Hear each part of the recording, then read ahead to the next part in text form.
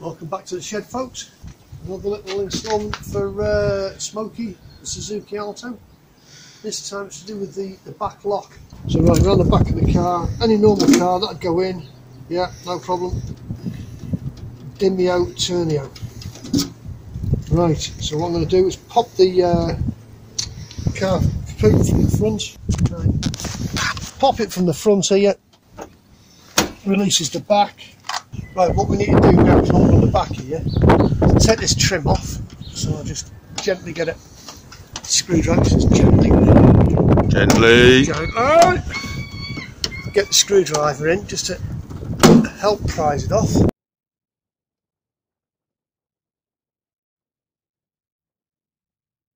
Yeah, cute. Now just get the couple of bits. Right, the mechanism for the lock is actually up here, so we need to take this bit off. The cameraman needs to back out a bit. Undo these three bolts here. Take that. Three, two, one. As you can see, take out the three bolts, And screw things, and removes that part of the lock. This piece here, it's hard to get my finger in there and show you, but that piece there gets on this piece here, makes the lock work. Obviously that bit ain't working. So I'm going to put these down on the floor, hopefully the gas struts, because we'll just uh, point out the gas struts need replacing. that's another job. The cameraman's tip tight at the moment to get the bloody parts. So to demonstrate, put the key back in the lock. That should be turning on this mechanism here. But it. It ain't no. So ain't no, ain't no doing no. Do apologise for any um, sound quality issues. It is blowing a Galio. Bit of the old WD 40. Other brands are available. I was going to say it's made in WD-40. Yeah. Has the magic special. Penetrating oil. Whether it's actually going to do anything, I doubt it. There you go, that's come through.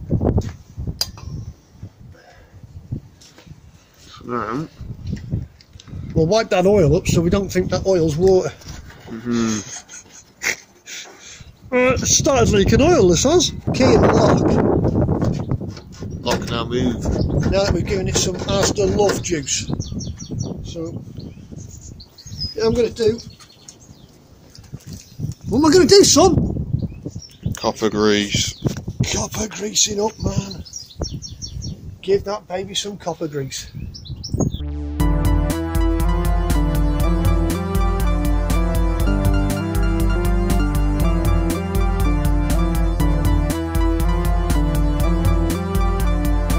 As I was saying off camera to the cameraman, it's a poor design on um, Suzuki's part. But, uh, obviously they they do get snow in Japan. But obviously they mustn't bloody print the roads like we do. Because if he backs off and such, as you can see all the crud comes up the back of the car here. Even though it's got this the lock on it. Still some, some creeps. Crud, clean that one up for the. Crud does still get behind that. that Try and get the inside of that.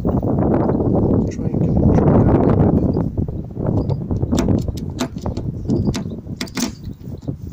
get some of my uh, secret ingredient of lubrication.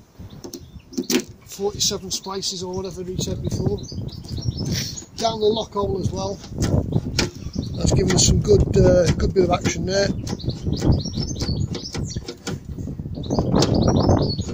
Yeah, that's good.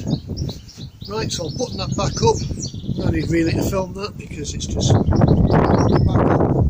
Reverse of what you did to take it off. did Before, yeah. So I've done a certain manufacturer, uh, not manufacturers, a certain workshop manual. It's the reverse of taking it apart. Don't forget to disconnect the battery. Standard. So, key shot.